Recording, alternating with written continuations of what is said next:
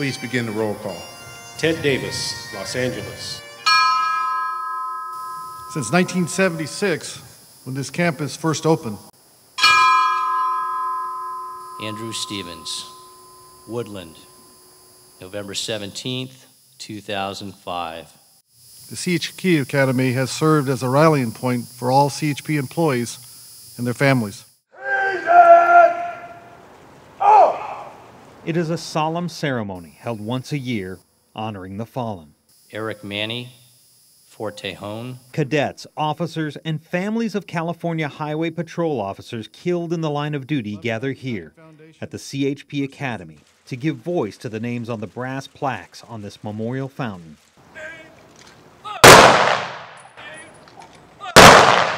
This is the ceremony the public sees, performed once a year. But before they call out the 225 names carved into metal, there's another ceremony. One held in the same courtyard at the same fountain. First time I participated in this ceremony, it was a little emotional for me. Two steps forward. March. Right. Three. A ceremony just as solemn. Being out here, you actually get a chance to see firsthand the names on the plaques. Cadets from the CHP Academy take time from their lunch to honor those same fallen officers by polishing their name plaques every Wednesday. It brings life to the names. Jessica Bonner is one of those cadets. She has just five weeks left in the academy, but she takes the lesson this ceremony drives home seriously. It makes you remember the fragileness of life. It remembers, makes you remember how, you know, short life can be, and to take life, you know, to its fullest, live it to its fullest. It makes you remember those people on the fountain that paid the ultimate sacrifice uh, for others. This ceremony today brought that home to me with such a great impact that we're family. Fallen officers like Walter Frago, killed 40 years ago with three other officers in Newhall. His wife, Nikki, attended the public ceremony for the first time this year. You would think that it would not be quite so emotional after so many years, but Walt was my first love. We met in high school, my only love, and it still it still touches and hurts the heart. That just doesn't go away. Can I give you a hug? You could see how it's touched her, this event, and that's what this is all about. CHP Commander Joe Farrow echoed the sentiment of the cadets and officers alike that no matter where you live, the Academy will always be home. And the names on the plaques, including the name of Walter Frago, should be honored and remembered, along with their families. I knew their story like I've known her forever because when I was a cadet here, we all learned about what happened in Newhall. And in stark contrast to the ceremony held just a day before, the ceremony held each week by the cadets is silent. It's a silence that Cadet Jessica Bonner says isn't just ceremony, it's a reminder. When the fountain ceremony is going on, you realize that, you know, in a couple weeks it might be your last day. And so when you hear the silence, I think people, you know, they take that break from the academy to realize that mm, this job is, it's tough, but, you know, It's rewarding. it's rewarding. Yes. One group polishes, and all the other cadets look on. Cadets like Theodore Ray, five weeks from graduating himself. And see kind of what we're embarking on on this career as a cadet and get a feeling of being a part of this, this family. Two steps backward. After the cleaning is complete, a final inspection, Reset. On. and a final honor. Company. Before they leave in the same stoic silence. It makes you remember the fragileness of life. It brings life to the names. We put on our vests and we put on our boots and you go out in the patrol vehicle. You never know when, what day could be your last day. Dave Manoucheri for Common Ground. You ready? Pitch. Here we go. Sing like you mean it. Ready. And sing for joy. Two years ago, if you'd told Christiana Quick Cleveland she'd be teaching a bunch of senior citizens, Catherine, Velma, Carol, Judy. most of whom can't even read music. Do you have a background in music or singing? No, not at all. This is my first time ever singing with a group of people. She'd have never believed you. Please give me that note. There are a lot of challenges working with seniors. Challenges is a vast understatement.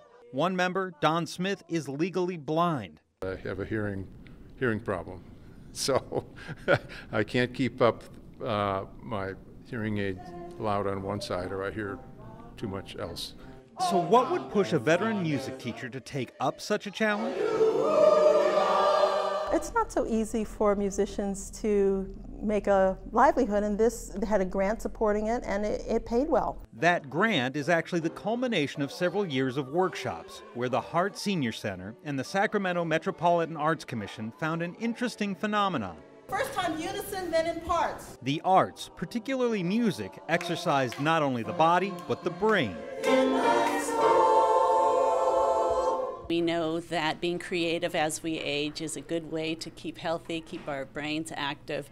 And so we've done a lot of programming in this arena. Um, and uh, after uh, some workshops that lasted for several years, we decided we really wanted to get into music. Teaching those skills required finding a veteran teacher with patience and a whole lot of stamina. Someone like Christiana Quick Cleveland.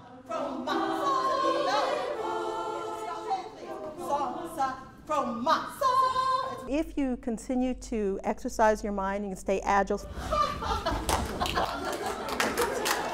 flexible in your thinking, flexible in your movements of your body, then your retirement years may look very different from someone who is just uh, very passive or looking at television, doesn't get out. And as much energy as Christiana and her co director, Catherine Fagiolo, expend, they know the choir is working just as hard, mentally and physically. So everybody's on their last pitch. No, no, no, no. Never sit idle. There's one thing, you don't sit idle for a minute, as you can see.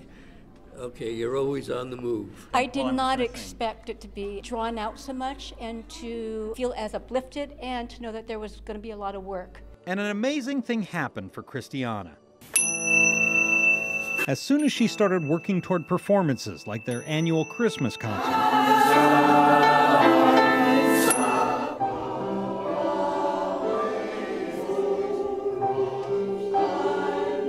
she started to get back far more than she was giving. Their spirit or their energy is, um, it's just uh, very, has a very dynamic pull much more so than other choirs. When they succeed, it is such a it's such a big big thing.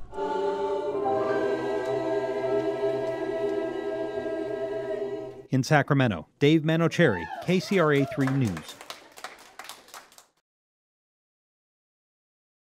T minus 10, 9. It's easy to think being in outer space is filled with danger. Well, it was on the top of my mind for all of our minds. We have a go for main engine start. Five, four. But one of the most dangerous times in any space flight is from two, one, and liftoff of through Challenger, go with throttle up. Challenger, go with throttle up. It's worth the risk. This is something that I think humanity should do, must do, has to do.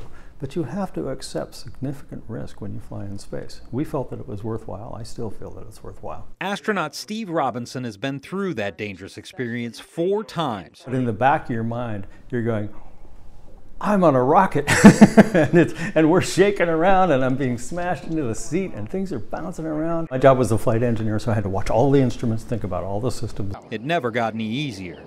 Look for malfunctions, wait for something to fail. Ten, the igniters have been lit. Nine. But NASA's next manned space mission, the Orion, might just help those astronauts breathe a little easier. If anything were to go wrong, what we'd want to do is get the crew away from the launch vehicle. Sam Wiley is the head of human space development for Aerojet Rocketdyne. Part of his job, a launch abort system that will actually yank the capsule off the launch vehicle in the event that anything goes wrong. It's your ejection seat. Launch, launch. An ejection seat on steroids. It's a, it's a heck of a ride. It puts the astronauts under about 13 Gs of acceleration. That ride will engage in a millisecond if anything goes wrong during launch. And then once the capsule's away, this jettison motor, this thing produces about 40,000 pounds of thrust in about a second and a half. The system has already been tested once a couple years ago. So it snapped it off the ground, flew it up in the air. This motor fired, separated the launch abort system from the capsule, and the capsule went through its whole landing sequence and safely landed. And liftoff at dawn, the dawn of Orion. And, and again in December. And we have launch abort system jettison. This launch abort system is not new technology. This is actually going back to some of the things in Apollo. Even one of the Mercury missions used a launch abort system to remove the crew capsule from a malfunctioning rocket. But it's a way to protect the crew. So, yes, it's all about safety and safety of the crew and making sure that they're good on their way. Booster ignition and liftoff of Discovery on a mission to study planet Earth. Yet none of the shuttle missions had this system. If something went wrong on the way up during the rocket powered ascent up through the atmosphere, and liftoff of Shuttle Endeavour. Um, then you had to deal with it in very complicated ways. You could not escape the spacecraft. Go deploy. But it will all change as part of what NASA is calling the journey to Mars. Passing 31 seconds, still looking good.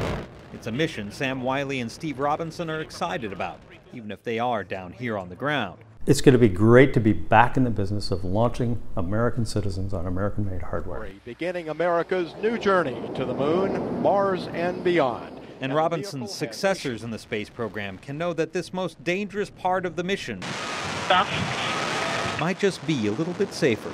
I flew high performance jet aircraft for 17 years and I always had an ejection seat. That made me feel good. I never used it, but it always made me feel very secure. We hope that we never have to use it, but it's there in, the, in, in case that something goes on, we can save the crew. Last jettison.